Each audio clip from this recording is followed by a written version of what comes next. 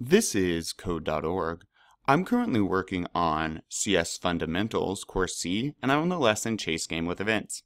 Can you have Waddles, Actor 1? So Actor 1 is the name, the computer's name for Waddles, the code name for Waddles. Say ouch and play a hit sound when he runs into Chomp. When you're done, play the game to make that happen. Okay, ouch. All right. Use this block for when Waddles and Chomp touch. Okay. So when actor one, oh, that makes sense. So when actor one, which should be Waddles is actor one, touches actor two.